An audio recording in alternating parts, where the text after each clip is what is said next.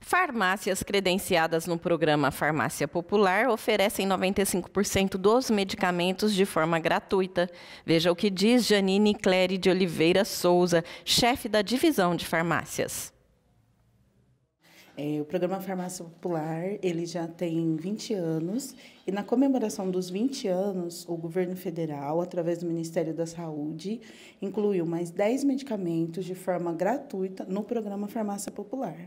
Bem, Janine, antes eram algumas patologias, agora aumentou o, o, número delas, é isso? Isso, antes eram patologias como diabetes, hipertensão, asma, agora foram incluídos medicamentos para rinite, colesterol alto e Parkinson.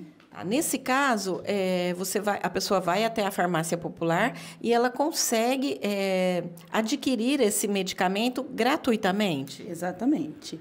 Ela consegue sem nenhum custo, né? São 41 medicamentos que fazem parte do programa Farmácia Popular. Desses 41, hoje 38 são de forma totalmente gratuita e dois deles é, são com 90% de desconto. Tá, então a pessoa né, tem que pagar, mas é uma coisa bem menor por conta do programa. Isso, ela vai pagar, no caso, só 10% do valor desse medicamento. 90% o Ministério da Saúde faz o pagamento. Tá certo. E, a gente estava conversando aqui, você me falou que é, pessoas que são cadastradas também no Bolsa Família também têm uma vantagem. Isso. O programa Farmácia Popular, ele atinge qualquer tipo de população.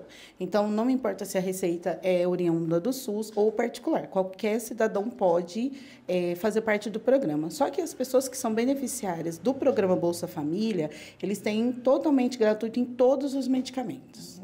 Bom, não são todas, todas farmácias, perdão, que se cadastraram nesse programa do governo aí, né? São algumas farmácias apenas. Isso, para fazer essa distribuição, a farmácia tem que ser credenciada nesse programa. Uhum. Então, algumas farmácias e drogarias particulares no município são credenciadas e podem fazer essa distribuição. Uhum.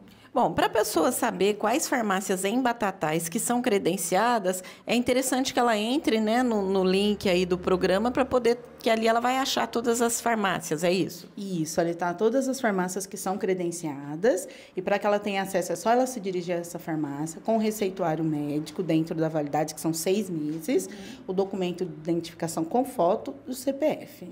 Ô, Janine, então, para as pessoas saberem quais são essas farmácias, qual é o link que ela deve acessar? Ela pode entrar lá no gov.br barra saúde e ali dentro do site procurar o Farmácia Popular.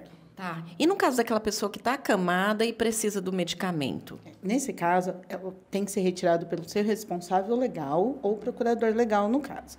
A pessoa tem que levar o receituário no nome do paciente, o documento de identificação do paciente, o seu documento e um documento que comprove que ele é o representante legal. Pode ser uma procuração, uma ordem judicial ou, no caso de menor de idade, a certidão de nascimento ou documento do menor.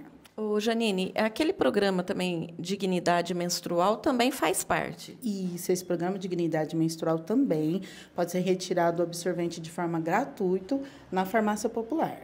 Nesse caso, a pessoa tem que estar é, credenciada aí nos programas. Isso, nesse caso, a pessoa precisa ter entre 10 e 49 anos e estar é, cadastrado no cadastro único. Tá. Com relação aos outros medicamentos que a gente citou aqui, inclusive nós temos aqui uma relação deles, que é hipertensão, diabetes, asma, osteoporose. É, a pessoa só chega com a receita na farmácia popular ou ela também tem que ter é, fazer parte aí do, do, do, do, Bolsa Família? Não, nesse caso não precisa fazer parte de programa nenhum. É só chegar com a receita e os documentos necessários e ela retira, independente se ela faz parte ou não do programa.